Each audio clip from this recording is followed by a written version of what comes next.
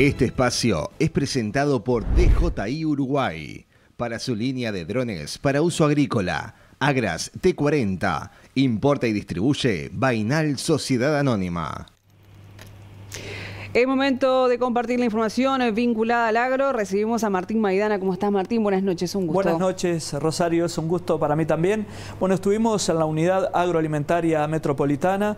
Por estos días surge la pregunta por parte de los consumidores por qué están los precios de determinada forma, suben o bajan o se mantienen estables. Es por ello que estuvimos haciendo un relevamiento. Si te parece, lo vemos. Sí, por supuesto. Adelante. Muy bien, entonces, a propósito de lo que desea saber el consumidor para saber cuánto puede costar las frutas y verduras, es decir, la producción hortifrutícola que se ha visto afectada por las lluvias, al igual que otras producciones, vamos a ver este informe que nos ubica, nos hace un estado de situación. Empezamos por la parte vendedora. Hoy se vendió un, poquito más que la semana pasada. Este, acá es venta de papa zapallo, cebolla, ajo. Este, si bien no era lo que pensábamos vender, pero más o menos se trabajó. ¿A qué se debe este aumento en la demanda? ¿Por el arranque de la semana quizás? Eh, no, lo que pasa es que tuvo medio complicado con el tema clima, este, lo del agua no se podía arrancar, este, y bueno, estamos esperando ahí, pero digo, yo, eh, en pocos días, digo, el tiempo está mejorando, se va, se va a arreglar un poco. ¿Cómo viene la calidad de los productos que ustedes promueven, papa, cebolla, zapallo, entre otros? Eh, bueno, con respecto a la calidad, bastante bien, si bien le falta un poco de tamaño a, la papa, pero relativamente bien, bien. ¿De dónde proviene la producción?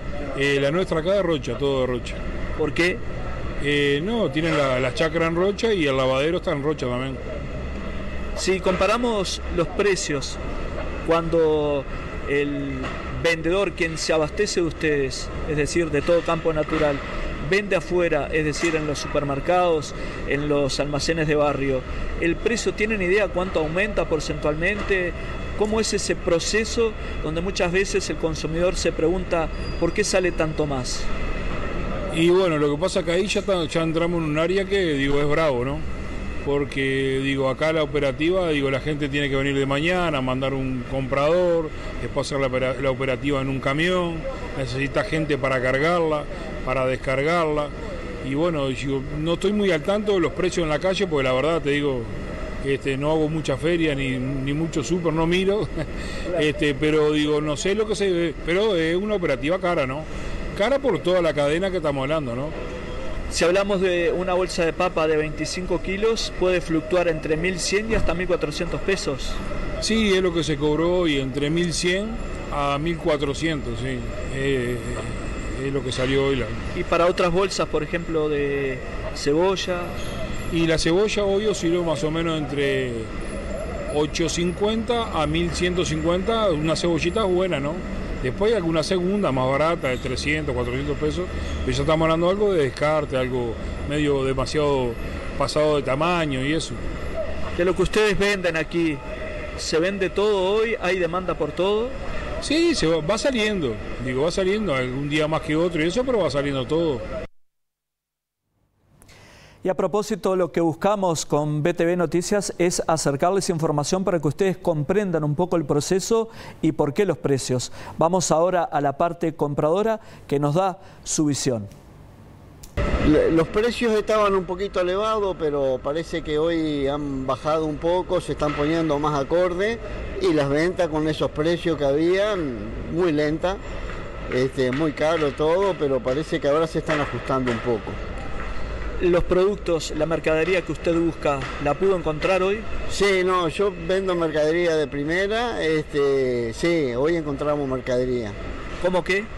Como eh, eh, eh, la espinaca, la selga, viste que estaba faltando, este, el tomate también bajó, esperemos que esta semana se mueva un poquito más. ¿Cómo están los precios entonces? Y los precios estaban altos, ¿viste? Los precios estaban altos Parecería que hoy vamos a empezar a, bajar algunos precios porque han bajado varios artículos, el morrón bajó, bajó este, un poco la espinaca, la selga, así que esperemos tener una semana mejor que las anteriores.